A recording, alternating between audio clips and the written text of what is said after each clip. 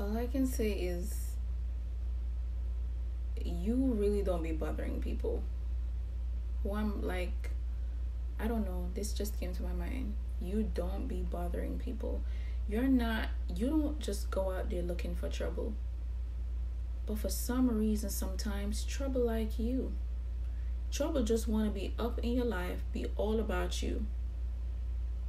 And you could have experienced this where you have people just take it make it their their job to annoy you or to do crazy things to you. Like and you be really in your own world. Some of the times you be in your own head. You don't bother people. You're so laid back. You you see what you're it's like for some reason and the thing is if you were to act up on whatever they did all of a sudden you would seem like you're crazy